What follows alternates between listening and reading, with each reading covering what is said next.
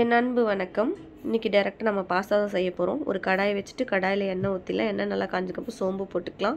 சோம்பு நல்லா பொரிஞ்சதுக்கப்புறம் நீளமாக வெட்டி வச்சுருக்க ஆனியனை போட்டிருக்கேன்.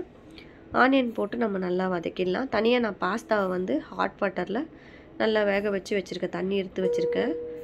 அப்படி வச்சு செய்யும்போது தான் ரொம்ப நல்லாயிருக்கும் ஸோ இப்போது ஆனியனை நல்லா வதக்கி கொடுத்துருங்க. உங்கள் வீட்டில் இருக்க குழந்தைங்களாம் இந்த மாதிரி பாஸ்தா டிஃப்ரெண்ட்டாக செஞ்சு தரும்போது ரொம்ப விரும்பியும் சாப்பிடுவாங்க ரொம்ப டேஸ்ட்டாகவும் இருக்கும். இதுக்கப்புறம் நம்ம நறுக்கி வச்ச இஞ்சி போட்டுக்கலாம். பூண்டும் நறுக்கி வச்சுருக்கோம்.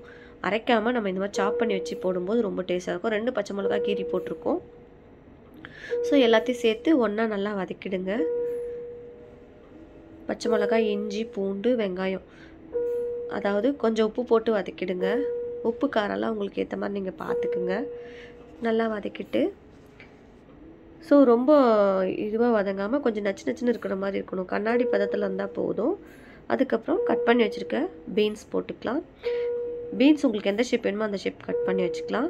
நீளமாக வெட்டி வச்சுருக்க கேரட் போட்டுக்கலாம். உங்கள்கிட்ட என்ன வெஜிடபிள்ஸ் இருக்கோ அது யூஸ் பண்ணிக்கோங்க நீங்கள் நான் கேரட் பீன்ஸ் தான் யூஸ் பண்ணியிருக்கேன் கேரட்டும் பீன்ஸும் நல்லா வதக்கி கொடுத்துடலாம். ரொம்ப குக்காக வேண்டாம். மீடியமாக வதங்கினா போதும்.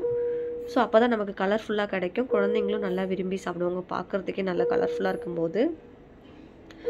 ஸோ இந்த கேரட்டு பீன்ஸு பச்சை மிளகாய் இஞ்சி பூண்டு வெங்காயம் போட்டு வதக்கியிருக்கோம் நல்லா வதக்கி கொடுத்துருங்க. வதங்கினதுக்கப்புறம் ஒரு அரை தக்காளி நான் போட்டுக்கிறேன்.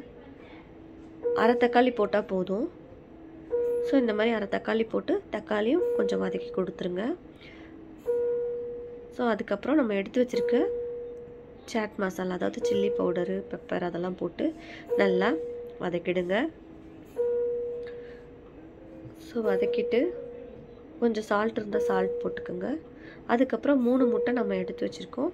முட்டை இதில் ஊற்றிக்கலாம் முட்டை வேணான்றவங்க ஸ்கிப் பண்ணிக்கோங்க. எனக்கு முட்டை வேணுன்றனால நான் முட்டை யூஸ் பண்ணுறேன் முட்டை போட்டு நல்லா வதக்கி கொடுத்துருங்க. அதுக்கப்புறம் நம்ம வந்து கொஞ்சமாக ஒரு டேபிள் ஸ்பூன் தனித்தனியாக எடுத்து வச்சுக்கணும். நம்ம tomato sauce chilli sauce soya sauce எல்லாம்.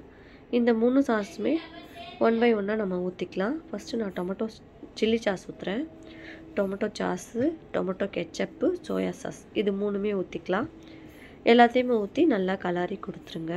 கொடுத்ததுக்கப்புறம் நம்ம வேக வச்சு வச்சுருக்க தனியாக பாஸ்தா வார வச்சுருக்கலாம் அந்த பாஸ்தாவை எடுத்து இதில் மிக்ஸ் பண்ணிக்கோங்க. நல்லா மிக்ஸ் பண்ணிவிட்டு பெப்பர் வந்து உங்கள் காரத்துக்கு ஏற்ற மாதிரி போட்டுக்குங்க. ஸோ பெப்பர் போட்டு நல்லா மிக்ஸ் பண்ணிவிட்டு நம்மளுடைய பாஸ்தா ஆல்மோஸ்ட் ரெடி ஆகிடுச்சு இப்போது நம்ம கட் பண்ணி வச்சுருக்க கொத்தமல்லி தழையை இதுக்கு மேலே போட்டுக்கலாம்.